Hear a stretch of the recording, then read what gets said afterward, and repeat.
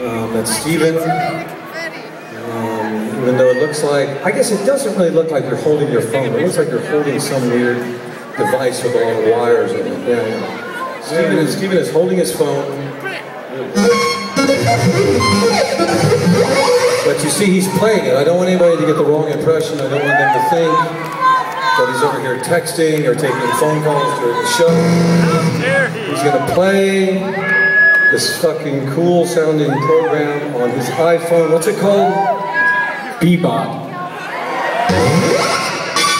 Not, a, not that cool of a name, but it's a cool sound. But he could, he could check his Twitter account and play at the same time.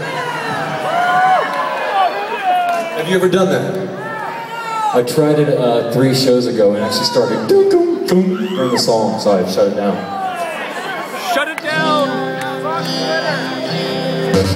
All right, here we go.